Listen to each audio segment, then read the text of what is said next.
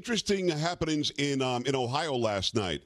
I guess this is sort of the way of, of politics in our country, Bill. And I want you to to give me your take on this if you don't mind. But if the Democrats only lose by a little bit, they won somehow, and if the Republican wins, they still lost. Is it? Did I get it right? Um, yeah, the media spins it that way, and then President Trump spins it that um, the Republican candidate was so far behind, then he went there to campaign for him, and suddenly he rocketed. the truth is that Americans basically are watching right now; they're not reacting. This is very important. Yeah. So you have a, a, special election in Ohio 12, the 12th district. Not that many yeah. people turned out about 200,000. Not not many. And the Republican won, but now he has to run again in November because he's replacing uh, another Republican who resigned to become a business person. And he's running against the same, right. same guy, O'Connor. So the race will, will be uh, in November, and then we'll see. And I, I fully expect the Republicans to win in this district if the economy stays where it is right now. But what the press doesn't care about, because what they want to do is root for anything bad to happen to Donald Trump. So if Democrats get elected, right. uh, that's bad for Trump, and hopefully he'll be impeached in the House if the if the Republicans lose the House. That's what the press wants. You can imagine all the money that will be earned by cable news and the network news if Donald Trump is impeached. Buckets of money all right, tens of millions of dollars. So just on an economics, they're rooting for Trump to get impeached. Now, the president knows that he has got to keep the House of Representatives. The Senate looks like it'll stay Republican. I think Claire McCaskill yeah. out in Missouri is going to lose. Uh, a Republican will take that seat. Um, but he knows he has to keep the House. And that's going to be razor thin.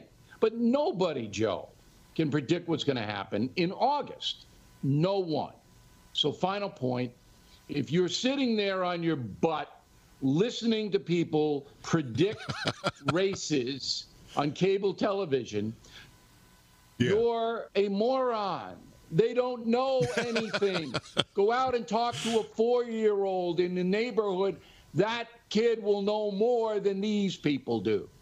There you go. Yeah, but but you know, but uh, it's interesting. Nobody else has ever said that. It's Bill O'Reilly, BillO'Reilly.com, of course. That uh, that the media has a vested interest in impeachment hearings, even if they don't want them to be impeached. They want them to be because of the buckets of money. I never th- even thought about that before. I think that that's that's prescient. I, I think I think you're absolutely right about that. All of the calculations on cable news, in particular, are made about money.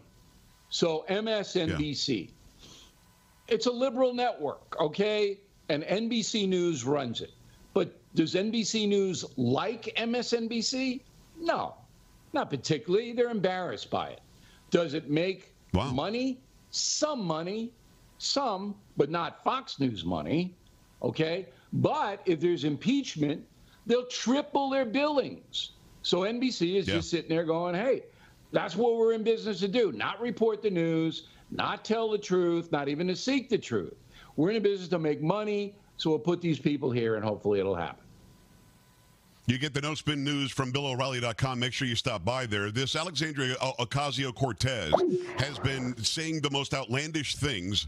Things like, uh, we're going to turn this seat red, which makes no sense. That's not what she's trying to do. That if you have two jobs, you somehow made the unemployment rate lower, which of course isn't how it works. So every candidate that she backed, and everybody thought she was the new up and, uh, up and coming star, lost yesterday. Does the Democrat Party bill now run away from her? Do they keep on trying to hang their, or, you know, hitch their, their wagon to this this woman because she's young and cute? You know, I got to tell you, Joe, I just think she's great. I, I just think this woman is great. I do. I think okay. a 28 year old woman, okay, who decides to run against a fat cat congressman who couldn't care less about his district, all right, the Irish guy who lost to her, who goes out and works right. her butt off and wins the primary. And now she thinks that she's Winston Churchill. Okay? She does. Let's go. Here we go. We're going to take everything back. Now, I like her. I like the work ethic. I like the ambition. But the truth is, and I don't say this with any uh, arrogance at all. That she doesn't know anything. She doesn't know anything. Now that puts her on a par with most politicians in Washington. None of them know anything. all right. She's 28. She's got a chance. I'll, you know, if she wants Yeah. to come over my house, I'll give her a tutorial, and I'll teach her a little Yeah. history and a little economics and a little political science. But does she know anything? No, she doesn't know anything. She was elected because the people in the district go, the Irish guy doesn't care about us. She's working her butt off. We're going to vote for her. And if she can get us some free stuff, we'll be happy. That's it. That, well, that, that, well, that's exactly what it's turning out to be because it's certainly not because of her economics degree that she has from Boston College or something. I don't, I don't know how she got it because she doesn't U. seem to understand anything about it. But uh, is it Boston U? Is that what it was? I think I think it So, was mean, Boston U, I- but I could be wrong. But I, I felt because I went to Boston U, and I thought that she was uh, one of my uh, fellow terriers.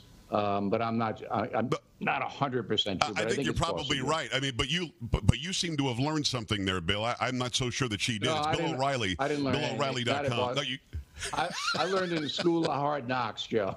That's where I learned. I got you, brother.